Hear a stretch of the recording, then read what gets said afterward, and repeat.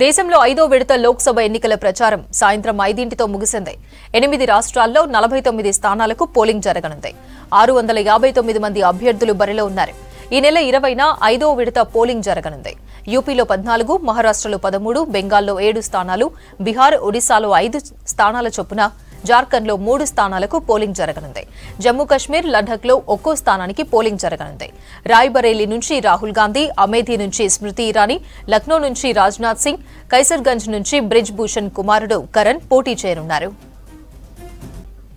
దేశంలో ఐదో విడత లోక్సభ ఎన్నికల ప్రచారం సాయంత్రం ఐదింటితో ముగిసింది. ఎనిమిది రాష్ట్రాల్లో నలభై తొమ్మిది స్థానాలకు పోలింగ్ జరగనుంది.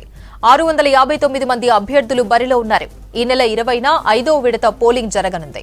యూపీలో పద్నాలుగు మహారాష్ట్రలో పదమూడు బెంగాల్లో ఏడు స్థానాలు బీహార్ ఒడిశాలో ఐదు స్థానాల చొప్పున జార్ఖండ్లో మూడు స్థానాలకు పోలింగ్ జరగనుంది.